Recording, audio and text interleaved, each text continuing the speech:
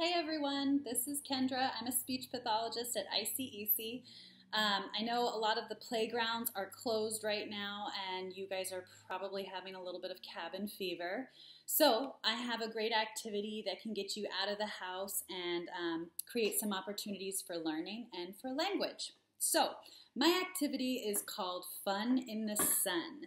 So all you would need, you can get a muffin tin, we're going to see what items melt when you leave them out in the sun. Now, key component, you need to make sure that you put things in that will melt because that won't be very fun if everything just stays the same and maintains its shape. So, I don't have a ton of toys at home. I don't have kids yet, so I had to get a little creative.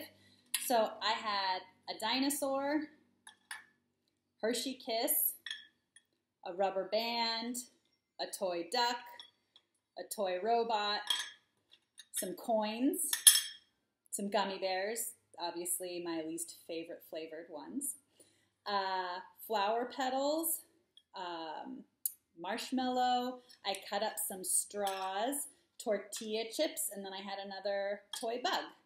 So what you can do is you can put these um, cupcake tins out into the sun. So you could do that in your backyard, on your patio, if you have a communal area, a driveway, wherever it will be safe for an hour. And then you can go back out with your kids and you can check and see what maintained its shape and what ended up melting. You can use language such as, oh, melted, sticky, or um, you can work on hot or cold or same, different. There's a whole bunch of language that you can use. If you wanted to go with themes, you could even go with nature. So you could fill up each of the tins with um, something from outside. So a leaf, a rock, some dirt, a flower. Or you could do kitchen. So maybe you could fill it all with food. Like you could put some rice, some beans, some Hershey Kisses, some candy, maybe some M&Ms, something in there, some flour, but you could actually see, oh, look, these ones are still the same. Oh, look, this looks different. How does it feel? What does it look like?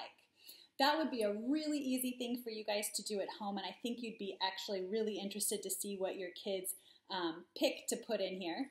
Um, that is our tip for this week. I hope you guys are staying safe and parents are staying sane. We miss you, and hopefully, we'll get to see you guys back at clinic soon. Take care of yourself.